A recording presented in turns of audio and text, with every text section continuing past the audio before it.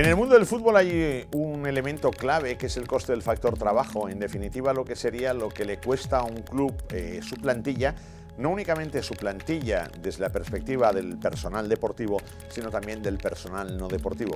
No únicamente lo que le cuesta a la plantilla en la perspectiva de los gastos de personal, sino que también hemos de introducir un elemento típico de lo que sería el sector del fútbol, que es la amortización de los jugadores.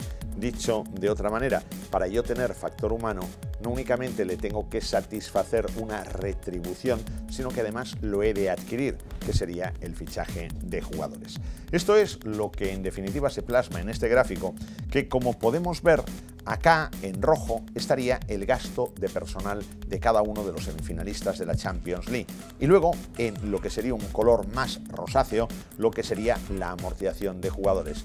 Ficho a un jugador, ficho a un crack me cuesta 100 millones de euros. Si este crack lo voy a tener durante 5 años, divido los 100 millones de euros entre 5 años y cada año voy a amortizar 20 millones de euros, de forma y manera que cuando finalice la duración del contrato el crack esté totalmente amortizado. Claro que a veces igual lo que se hace es una renovación antes de que expire el primer contrato para de esta forma suavizar el impacto de la amortización o porque confiamos en el crack.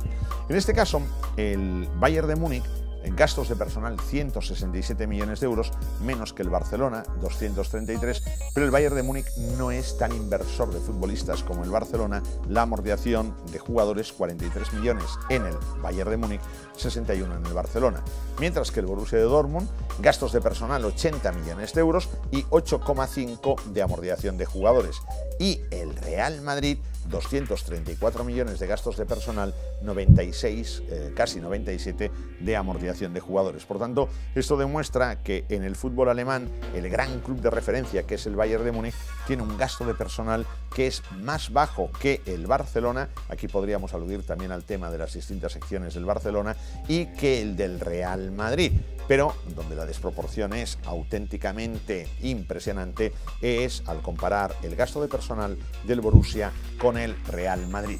Y esto nos lleva en definitiva a lo que sería el impacto porcentual del coste del factor trabajo sobre los ingresos. Mientras que en el Bayern de Múnich por cada 100 euros que se están ingresando, el coste del factor trabajo, es decir, gasto de personal más amortización de jugadores, representa el 56%, en el Barcelona el 61%, en el Borussia de Dortmund solo el 45% y en lo que sería el Real Madrid el 65%. Una lección muy interesante de la cual se saca una gran conclusión. Aquí el tema está clave. ¿Quiénes son los dos clubes que alcanzan la final de la Champions? Aquellos que tienen el coste del factor trabajo más bajo, con lo cual quiere decir que la eficiencia y el rendimiento de la plantilla es auténticamente de matrícula de honor. No por mucho pagar a la gente, la gente estará más motivada. Necesita siempre lo que sería ADN y épica para lograr las grandes gestas.